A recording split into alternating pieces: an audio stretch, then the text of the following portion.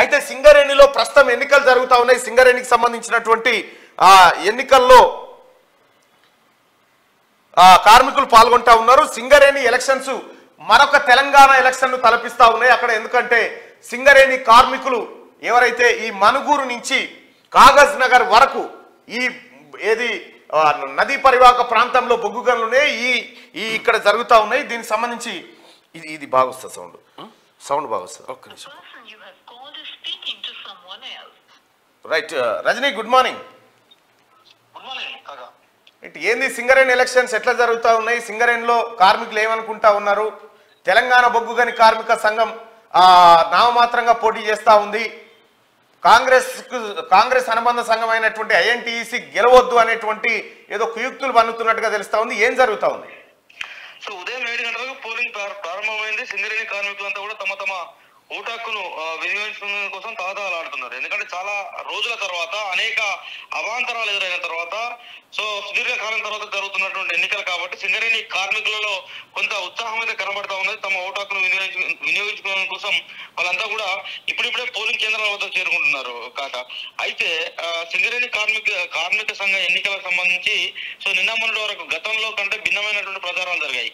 So గతంలో TRS party అధికారంలోకి వచ్చిన తర్వాత సింగరేణి గుర్తింపు సంఘం ఎన్నికల్లో ఆ, చాలా రకాలైనటువంటి ప్రలోభాలు కావచ్చు ఒకనొక సందర్భంలో చెప్పాలంటే ఆ, గతంలో ఈ- ఈ రోజు జరుగుతున్న ఎన్నికల కంటే ముందు జరిగిన ఎన్నికల్లో ఒక్కొక్క కార్మిక కుటుంబానికి తులం తులం బంగారం లేదా ఐదైదు తులాల వెండి వెండి బంగారు నగల నగలు పంపిణీ జరిగితే ఈసారి ఎన్నికల్లో అవన్నీ ఏం లేవు. ఎందుకంటే హైకోర్టు చాలా కఠినంగా వివరించింది సో రాష్ట్ర ప్రభుత్వం ఒకనొక సందర్భంలో ఎన్నికలు వాయిదా వేయడం కోసం ప్రయత్నం చేసింది. హైకోర్టులో కేసు వేసిన తర్వాత హైకోర్టు అయితే ఇక్కడ దాన్ని యాక్సెప్ట్ చేయలేదు కొట్టేసింది కాబట్టి.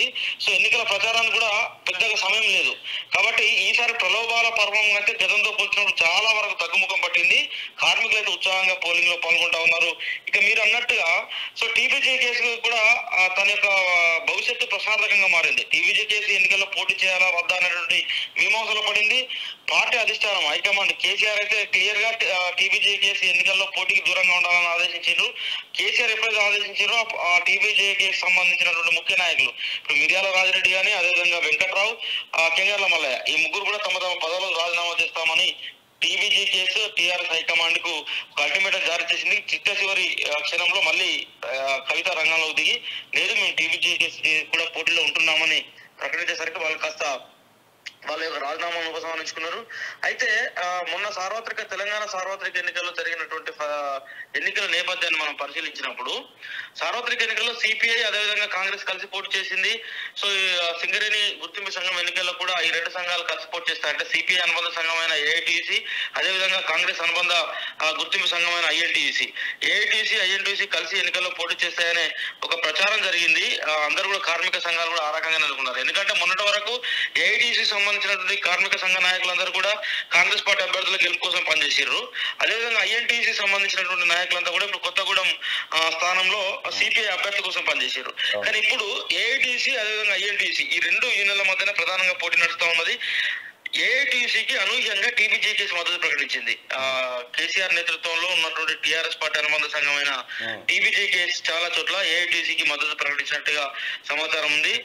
ఆ, స్థానిక నాయకత్వం అంతా కూడా. ఎందుకంటే మేము ఎన్నికల్లో గెలిచే ప్రసక్తే గెలిచే పరిస్థితులు కనబడతలేవు కాబట్టి. సో టీబీజేకేసి గెలిచే అవకాశం లేని చోటల్లా ఖచ్చితంగా మీరు ఏఐటీసీకి మద్దతు ఇవ్వమని కేసీఆర్ అదేవిధంగా టీఆర్ఎస్ నుంచి ఆదేశాలు అందాయి. దానికి అనుగుణంగానే ఆ టీవీజే కేసు వారంతా కూడా ఏఐటీసీకి మద్దతు ప్రకటిస్తూ ఉన్నారు. సో ప్రధానంగా పోటీ ఇప్పుడు మనకు అందుతున్న సమాచారం ప్రకారం అయితే ఏఐటీసీ అదేవిధంగా ఐఎల్టీసీ కాంగ్రెస్ వర్సెస్ సిపిఐ అనుబంధ సంఘాల మధ్య ప్రధాన పోటీ ఉండే అవకాశం ఉన్నట్లుగా సమాచారం అంతా ఉంది కాక.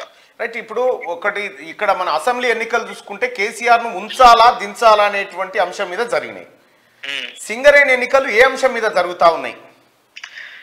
సింగరేణి ఎన్నికల్లో అసలు కేసీఆర్ టీఆర్ఎస్ పార్టీ అనేది అసలు పోటీలో లేదు. ఆ పార్టీ యొక్క సిద్ధాంతం కూడా పోటీగా లే- పోటీలో లేదు. వాస్తవానికి కూడా ఏం జరిగింది? తెలంగాణలో ఇటీవల జరిగినటువంటి సార్వత్రిక ఎన్నికల తర్వాత కొంత కాంగ్రెస్ పార్టీకి కాంగ్రెస్ పార్టీ అనుబంధ సంఘమైనటువంటి ఐఎన్టీసీకి కొంత ఊపు వచ్చింది. సో రాష్ట్రంలో ప్రభుత్వం ఉన్నది సింగరేణి బెల్ట్ అనేది దాదాపు ఎనిమిది నుంచి పది అసెంబ్లీ నియోజకవర్గాలను ప్రభావితం చేస్తుంది. దాదాపు నలభై వేల మంది కార్మికులు ఓటాకును వినియోగించుకోవాల్సి ఉంది సో ఈ నలభై వేల మంది కార్మిక కుటుంబాలు ఉంటే దాదాపు ఒక లక్ష లక్ష యాభై వేల ఓట్ల ప్రభావం ఉంటుంది. ఐఎన్టీసీ కాంగ్రెస్ పార్టీకి సంబంధించి ప్రధానంగా ఇద్దరు మంత్రులు. ఒకటి పొంగులేటి శ్రీనివాస్ రెడ్డి ఖమ్మం ఏరియాలో కొత్తగూడెం కావచ్చు ఇల్లందు కావచ్చు ఆ సత్తుపల్లి భద్రాచలం. సో ఈ ప్రాంతంలో మంత్రి పొంగులేటి శ్రీనివాస్ రెడ్డి ప్రతిష్టాత్మకంగా ఎన్నికలను తీసుకున్నాడు కాంగ్రెస్ పార్టీ గుర్తింపు సంఘమైన ఐఎన్టీసీని ముందరుండి నడుపుతా ఉన్నారు. పొంగులేటి శ్రీనివాస్ రెడ్డి నేతృత్వంలో అక్కడ కార్యక్రమాలు నడుస్తా ఉన్నాయి. అదేవిధంగా ఇటు మనకు భూపాలపల్లి కానీ గోదావరి కానీ కానీ మంచిర్యాల శ్రీరాంపూర్ మందమర్రి. సో ఈ ప్రాంతాలలో ప్రధానంగా మంత్రి శ్రీధర్ బాబుతో పాటు కాంగ్రెస్ పార్టీకి సంబంధించినటువంటి ఎమ్మెల్యే వివేక్ అండ్ వినోద్ ఆ, టీం పనిచేస్తా ఉన్నది. సో ఇట్లా కాంగ్రెస్ పార్టీ ఏమో మంత్రులు నేరుగా రంగంలో దిగి సింగరేణి గుర్తింపు సంఘం ఎన్నికల్లో ఐఎన్టీసీ గెలిపించేటువంటి బాధ్యతలను భుజానికి భుజానికి ఎత్తుకుంటే ఇక ఏఐటీసీకి ఏంటంటే సహజంగానే కొంత ఉద్యమాలు పోరాటాల చరిత్ర ఉంటది. సో కార్మిక సంఘాల హక్కుల కోసం సో ఉద్యమాలు చేయాలన్నా పోరాటాలు చేయాలన్నా ప్రభుత్వాల మెడలు వంచాలన్నా కూడా పోరాడే సంఘం ఉండాలనేటువంటి ఒక ఉద్దేశంతో ఆ విషయాన్ని కార్మికులకు చెప్తూ ఏఐటీసీ ప్రధానంగా ప్రచారం చేపట్టింది. ఏఐటీసీకి అడ్వాంటేజ్ ఏంటంటే మనం చెప్తా ఉన్నాం ఇప్పటిదాకా. సో టీబీజేకేస్ మద్దతు ప్రకటించడంతో పాటు సిఐటియు కూడా. ఆ సిపిఎం అనుబంధ సంఘమైన సిఐటియు అదేవిధంగా ఇతర విప్లవ కార్మిక సంఘాలు కానీ సో కొన్ని చోట్ల కొన్ని చోట్ల గెలవలేని చోట్ల కూడా ఏఐటీసీ మద్దతు ప్రకటిస్తా ఉన్నాయి కాబట్టి కొంత ఒక కూటమిగా కాంగ్రెస్ పార్టీ ఏమో సింగిల్గా ఎన్నికల బరిలో దిగితే ఇతర ఆ, యూనియన్లు అన్ని కూడా ఏఐటీసీకి మద్దతుగా ఇప్పుడు సిఐటియు కావచ్చు టీబీజేకేస్ కావచ్చు హెచ్- ఇతర కార్మిక సంఘాలన్నీ కూడా ఆ, కొంత ఏఐటీసీకి మద్దతుగా ఉన్నాయి. కాబట్టి కార్మికుల యొక్క ఆలోచన ఒకవేళ ప్రభుత్వం అధికారంలో ఉంది కాబట్టి కాంగ్రెస్ పార్టీ అనుబంధ సంఘంతో కార్మికుల యొక్క హక్కులు సఫలమవుతాయి అనుకుంటేనేమో ఐఎన్టీసీ వైపు వెళ్ళే అవకాశం ఉంది. లేదు ఖచ్చితంగా ఉద్యమాలు పోరాటాల ద్వారానే మనం ప్రభుత్వాల మెడలు వంచుకునే అవకాశం ఉంటుంది.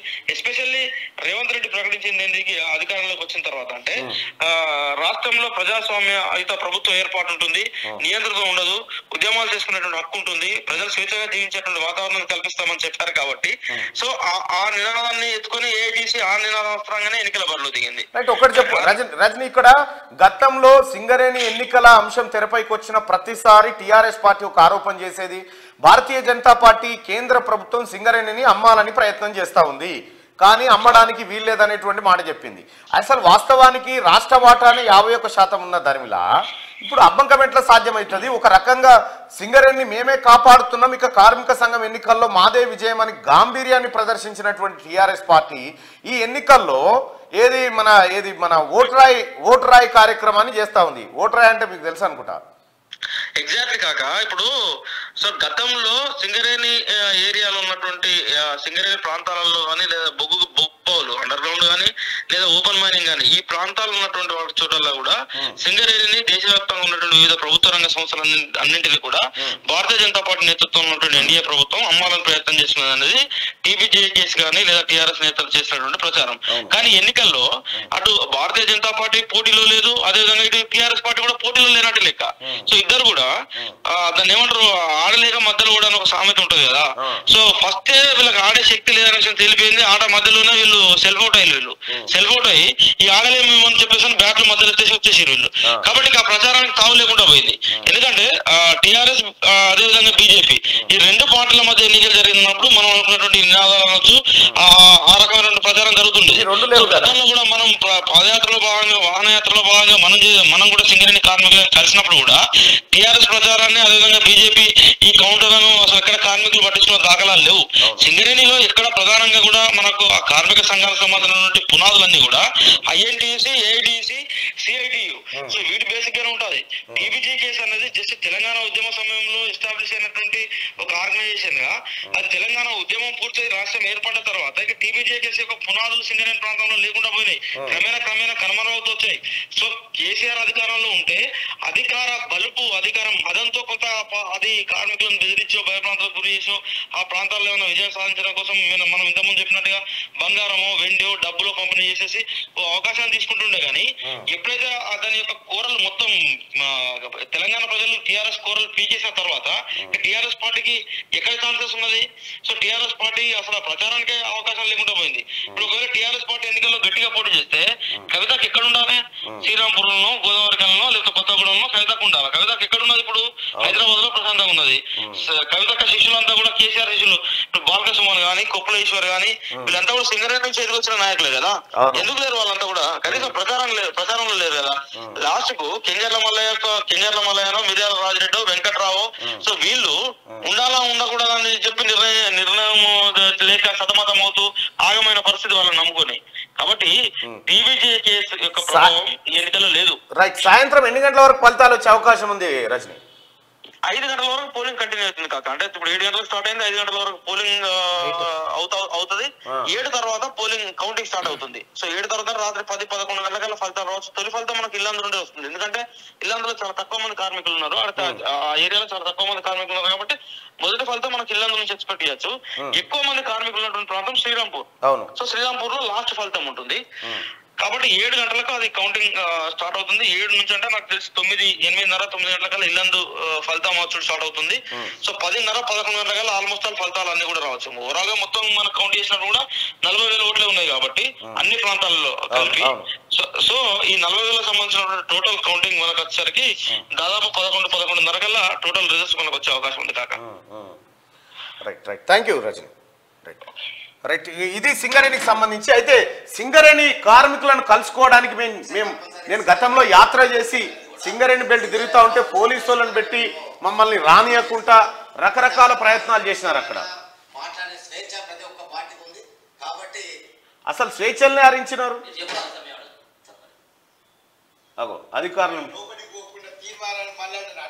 అంటే దొంగే దొంగ అని అది భుజాలు కొనుక్కోవడమే. నేను ఏంటంటే వాస్తవాలను ఈ సింగరేణి కార్మికులను కలుసుకోవడానికి పోతే సిఎండి శ్రీధర్ సర్క్యులర్ జారీ చేసి సింగరేణి కార్మికులారా ఆ, ఆ అధికారులకు చెప్పి తీన్మార్ మల్లన్న ఎట్టి పరిస్థితిలో కార్మికులను కలవకుండా చూడండి అనేటువంటి ప్రయత్నం చేసి ఏది చేసినా కూడా నేను కలవాల్సిన కార్మికులను కలిసిన కలవాల్సినటువంటి ప్రయత్నం చేసిన తెలంగాణ బొగ్గుగని కార్మిక సంఘాన్ని ఎందుకు ఓడగొట్టాలో కార్మికులందరికీ వివరించడం జరిగింది. కార్మిక సోదరులారా దయచేసి ఈ ఒక్కసారి అధికారంలో ఉన్నటువంటి ఐఎన్టీసీకి అవకాశం ఇవ్వండి. ఖచ్చితంగా మీ ఆశయాలు నెరవేరుతాయి. పదేళ్ళ పాటు ఈ దొంగను చూసినాం. ఈ దొంగ చేసిన మోసాలు మీ కళ్ళ ముంగట్నే ఉన్నాయి. కాబట్టి మీ పక్షాన పోరాడడానికి కాంగ్రెస్ పార్టీ ప్రజాస్వామ్యయుతమైన పార్టీ. కాబట్టి ఐఎన్టీసీకి అవకాశం ఇవ్వాల్సిందిగా మీ అందరినీ రిక్వెస్ట్ చేస్తూ ఇక దానికోసం అని చెప్పేసి పాదయాత్ర వాహన యాత్ర కూడా వాహన యాత్ర ప్రత్యేకంగా- కూడా చేసిన మొత్తం సింగరేణి మొత్తం. రైట్. సింగరేణికి సంబంధించినటువంటి ప్రచారాన్ని ఒక్కసారి చూద్దాం. ఇగో. మిమ్మల్ని ఓటేయమని అడగట్లేదు. పార్టీ విషయాలు చెప్పట్లేదు. ఏమీ లేదు.